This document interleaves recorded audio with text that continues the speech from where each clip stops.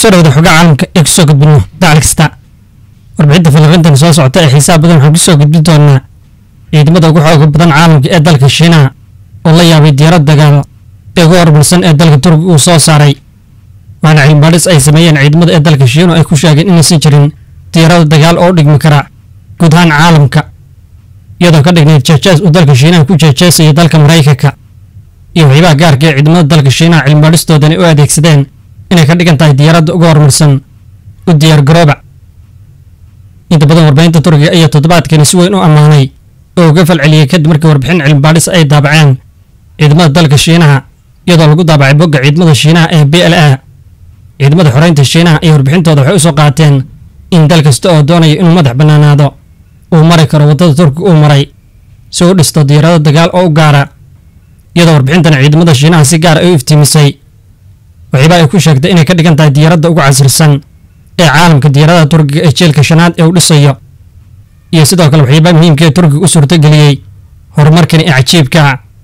Warbixinta ciidamada dalka shiinaha ee lagu warramayay diyaaradaha dagaalka turkiga u dhisayo ee jeelka shanaad ee ugu horreyntii waa ciwaan looga dhigay sheekada cilmibaadhista madax bannaanida iyo horumarinta diyaaradaha jeelka shanaad ee turkiga ee kan diyaaradaha turkiga ee kan oo loo soo gaabiyo t f akis waa jeelka shanaad ee maxalliga oo si madax bannaan turkiga u sameeyey waxaana si guul ay u dhammaysteen duulimaadkii ugu horreeyey bishii februari ee sanadkani.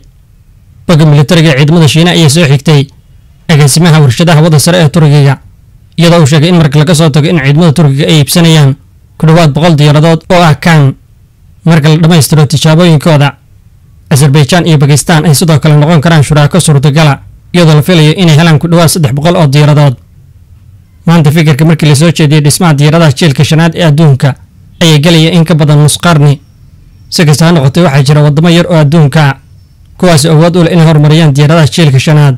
Waayo aragnimada tobannaankii sane ee la soo dhaafay ayaa caddaysay in horumarinta iyo sidoo kale howlgelinta diyaaradaha jeelka shanaad ay qaali yihiin oo ay nugul yihiin dhibaatooyin dhinaca qarashka ah caqabadaha farsamada iyo xitaa dhammaystirka ee mashruuca. Haddaba maxay yihiin caqabadaha suurtagalka ee turkiga uu kala kulmi karo dhammaystirka ee diyaaradaha jeelka shanaad iyo warshadihiisa difaaca maxayse tahay rajada horumarineed ee diyaaradaha jeelka shanaad dalka ku guulaysta? Qorshihii cilmibaadhista iyo horumarinta wadajirka raagibaadka ayaa lagu hungoobay waxaana la raadiyey waddada horumarineed ee madaxa bannaan ee turkiga. Sida lagu sheegay bogga militariga ciidamada dalka shiinaha dhammaadkii labadii kun iyo tobankii guddiga fulinta warshadaha difaaca ayaa ku dhawaaqay daafurka mashruucani ee diyaaradaha qaranka sida laga soo xigtay mashruucani.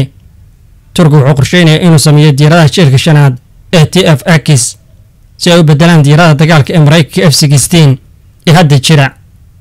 Yeelkeeda muddo dheer kadib ma jirin wax horumara oo ku saabsan mashruucani oo turkiga uu sameeyey. Ilaa laga soo gaaray bishii agost ee labada kun iyo lix iyo tobankii. Xilligaas oo mashruuca uu sameeyey horumar. Wasaaradda gaashaandhigga ee turkiga ayaa heshiis la seexatay warshadaha wadda sare ee turkiga iyadoo heshiiskani uu ku baxay lacag dhan labaatan bilyan oo dollar oo maraykana iyadoo la tixgelinaya xaaladda wakhtigaasi ma adka in la fahmo tallaabada ee turkiga uu qaaday. Isagoo xubin ka neeto turkiga iyo maraykanku waxay ilaalinayeen iskaashiga militariga iyo siyaasadda muddo dheer oo hore. Horaantii labadii kun iyo labadii turkiga ayaa ku biirtay. Mashruuca dhismaha diyaaradaha f t five siddeed shirkadood oo laga leeyay dalka turkiga ayaa qayb ka qaatay soo saarista in ka badan sagaashan qaybood oo isugu jiraan noocyada kala duwan ee diyaaradaha e f t five oo ay ku jiraan fayuusyada motoorada qalabka lagu dhajiyo siday sheegeen ciidamada shiinaha iyadoo turkiga uu noqday la howlgalaha saddexaad ee kaalinta ugu weyn ka qaatay mashruuca dhismaha diyaarada f t five turkiguna wuxuu laa rajo weyn kubiiritaankiisa naadiga diyaaradaha jeelka shanaad iyadoo uu kaashanayo maraykanka. Markii turkigu helay dufcaddii ugu horreysay ee gandaalada difaaca hawada sa afar boqol ee ruushka uu sameeyey waxaa la ogaaday in maraykanku islamarkiiba keligii u jexjeexay heshiiska kala dhexeeyey turkiga. Islamar ahaantaana turkiga uu ka saaray mashruuca ee diyaaradaha f t five iyadoo xayiraad lagu soo rogay qayb ka mid a dufcadda ee loo qorsheeyey turkiga inuu helo talabadani keliya maysan meesha ka saarin fikradda turkiga ee ku tirsanaanta maraykanka si ay rumowdo riyadiisa helitaanka diyaaradaha jeelka shanaad. Laakiin waxay sidoo kale dhabarjabo ku noqotay dhismaha ciidamada cirka ee turkiga. Turkiga wuxuu noqday mid aad u go'aansaday inuu sameeyo diyaaradaha jeelka shanaad ee u gaarka ah labadii kun iyo saddex labaatankii xitaa haddii dhaqaalaha gudaha ee turkiga iyo sidoo kale kan caalamiga uu hoos dhac ku yimi sababo la xidhiidha covid nneteen sida lagu sheegay warbixinta ciidamada dalka shiinaha turkiga weli wuxuu go'aansaday oo ku dheganaa inuu kordhiyo qarashka difaaca iyo amniga. Si kastaa noqotay cilmibaadhista horumarinta diyaaradaha jiilka shanaad laguma guulaysto oo keliya marka la go'aamiyo xoogga warshadaha difaaca ee ugu fiican tan iyo kun sagaal boqol iyo siddeetankii turkigu wuxuu bilaabay inuu raadiyo dariiqa madax bannaanida ee warshadaha difaaca waxaana turkigu u arkaa ballaadhinta iyo horumarinta warshadihiisa difaaca sida istaraatiijiyadda horumarineed ee mudnaanta u leh oo ah danta qaranka. Sida laga soo xigtay tirakoobka ee ku tirsanaanta militariga turkiga waddamada shisheeyaha ay hoos u dhacday boqolkiiba siddeetan taas oo ahayd labadii kun iyo labadii boqolkiiba labaatan oo keliya. Sidoo kale shirkadaha hawada sare iyo difaaca turkiga ayaa ka kacay konton iyo lix shirkadood sannadkii labadii kun iyo labadii ilaa ay gaadheen kun iyo shan boqol oo shirkadood sannadkii labadii kun iyo sagaal iyo tobankii. Inta waxaa dheer turkigu wuxuu ku fidsan yahay qaaradda ee yureeshin iyadoo xuduud ula leeyahay dalka ruushka dhinaca waqooyiga wuxuuna ilaaliyaa marinada badda madow ilaa iyo mediteraneanka sidoo kale wuxuu xubin ka yahay naato faa'iidooyinka juqraafiyadeed ee u oggolaanaysa in si fudud loo helo taageero farsamo oo dhinaca militariga ah. Xitaa haddii ay tahay mid qarsoodi ah oo aan la shaacin sida laga soo xigtay warbaahinta reer galbeedka? Swidhan faransiiska iyo waddamo kale oo reer galbeeda ayaa kaalin muhiima ka qaatay horumarka diyaaradaha kan ee turkiga ee qarsoodiga ah. Balse waxay ahayd buunbuunin sababtoo qurumahani waxay dhisan kareen diyaarado dagaal oo u gaara iyadoo waddamo badan oo ka mid aysan dhisan ilaa diyaaradaha jiilka shanaad. Sida lagu sheegay bogga ciidamada ee shiinaha inkastoo turkiga sanadii la soo dhaafay si joogtaa uga soo muuqday marxaladaha warshadaha militariga adduunka iyo horumar uu ka sameeyey dhismaha diyaaradaha kan oo soo jiitay indhaha guud ee dalalka adduunka balse suurtagal ma tahay in weli turkigu caqabado uu la kulmi karo. Warbixinta ciidamada shiinaha ayaa lagu sheegay waxaan si gaara u eegaynaa afarta dhinac ee muhiimka ay tahay inay yeeshaan. Diyaarad kasta oo dagaal oo jiilka qarsoodiga ah midda ugu horreysa waa dhaqdhaqaaqa sare maneuvrability subac taas oo qaabka loo xisaabiyo dhaqdhaqaaqa duulimaadyada hawada sare. Sidaas darteed dhaqdhaqaaqooda qaabaynta hawada sare ee diyaarada turkiga ee t f x layskama indhatiri karo. Dherarkooda ayaa labaatan iyo kow mitir halka ballacood uu yahay afar iyo toban mitir. Diyaarada dagaalka qarsoodiga ee turkiga ee kan waa diyaarado dagaal oo culus. Waxaana laga yaabaa in diyaaradaha maraykanka f twenty two raptor ay xoogaha ka dheereeyaan.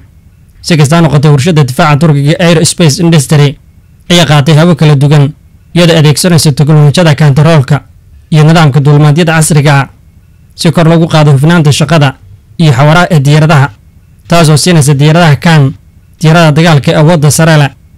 Midda labaad ee muhiimka ay tahay inay yeeshaan diyaaradaha dagaalka jiilka shanaad ee qarsoodiga ah waa inay noqdaan diyaaradaha sabrsoniga motoorku waa furaha lagu go'aamiyo diyaaradaha dagaalka ee jiilka shanaad inay yeelan karaan awoodaha ee safarka ee sabrsoniga nooca diyaaradaha turkiga u dhisay ee t f x sida sheegeen ciidamada xoreynta shiinaha xawraha ugu badan ee duulimaadyada ee diyaarada turkiga ee kan waxay gaadhi karaan eight. Taasoo ka dhigan inay awood u leeyihiin inay ku safraan xawaare ka sarreeya. Diyaaradaha maraykanka f twenty two raptor. Midda saddexaad ee lagu go'aamiyo. Awoodaha diyaaradaha dagaalka qarsoodiga ee jiilka shanaad. Awoodaha qarsoodiga raadaarku waa astaanta ugu muhiimsan iyo tilmaamaha ugu muhiimsan ee diyaaradaha jiilka shanaad.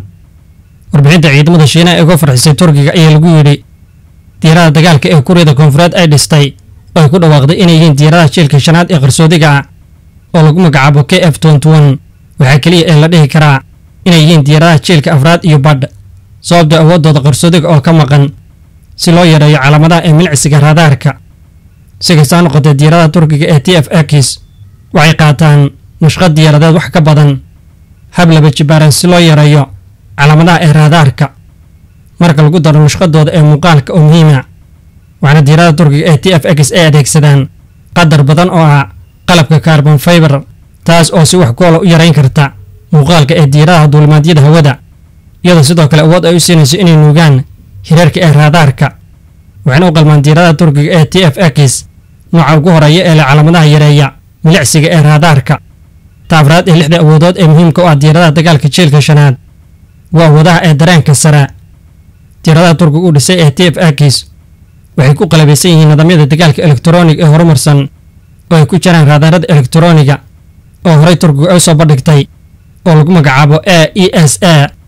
Raadaarkana turkiga u dhisay waxay leeyihiin ka hortagga elektroniga qalabka sahanka elektroniga iyo nidaamka raadinta ee aragga iyo nidaamyada bartilmaameedyada elektroniga ah iyadoo raadaarka turkiga ee e s a uu leeyahay in ka badan kun awoodood oo kala duwan taas oo ka dhigaysa diyaaradaha turkiga qiyaaso kala duwan oo ah in in ka badan laba boqol iyo konton kilomitir ay la socon karaan iyo inay ogaan karaan markiiba lixdan iyo afar bartilmaameed iyo sidoo kale inay toogan karaan oo ay weerari karaan lix iyo toban bartilmaameed markiiba. Intaa waxaa dheer sida lagu sheegay warbixinta ciidamada shiinaha ee falqaynta diyaarada dagaalka turkiga u dhisayo nidaamka elektarooniga ah ee diyaarada turkiga ee t f x marka la barbar dhigo raadaarka farsamo dhaqameedka raadaarada turkiga ee loo yaqaano a e s a waxay leeyihiin xawli baadhisa oo deg dega iyo sixsanaan sare oo ku ogaan karaan bartilmaameedyada iyo awoodaha kahortaga ee faragelinta xooggan. Isku soo wada duuba diyaarada dagaalka turkiga ee t f x waxaa la dhihi karaa inay haystaan awoodda diyaaradaha jiilka shanaad ee ugu casrisan adduunka. Laakiin sidoo kale waxaa lagu yeedhi karaa diyaarado la hubo oo jiilka shanaada ayaa lagu yidhi cilmibaadhista ciidamada shiinaha. Maalinta duulmaadyada ugu horreeya ee diyaaradaha kan madaxweynaha turkiga erdogan iyo khudbad oo jeediyey wuxuu ku yidhi turki wuxuu hadda ka gudbay heer kale oo muhiim u ah soo saarista diyaarada dagaalka jiilka shanaad iyadoo falqaynta warbixinta ciidamada shiinaha laga dareemi karo inay ahayd guddigasho weyn oo maraykana waxay raaciyeen inaa noqoto mid ka mid a waddamada yar ee adduunka oo galay koobka waddamada horumariya diyaaradaha jiilka shanaad. Waxay ka farxisaa dadka turkiga kan waa diyaarada dagaalka qarsoodiga ee jiilka shanaad ee ugu horumarsan adduunka. Kan waa faanka turkiga. Si kasta ha noqotay marka loo eego aragtida hadda horumarka xiga ee diyaaradaha kan waxay weli wajahayaan caqabada suurtogala turkiga weli ma laha awoodda wax soo saarka mashiinada hawada sare iyadoo ay ku tiirsan tahay caawimaadda ee waddamada kale iyadoo turkiga weli u dhisayo qaar ka mid a motorada diyaaradaha jiilka shanaad.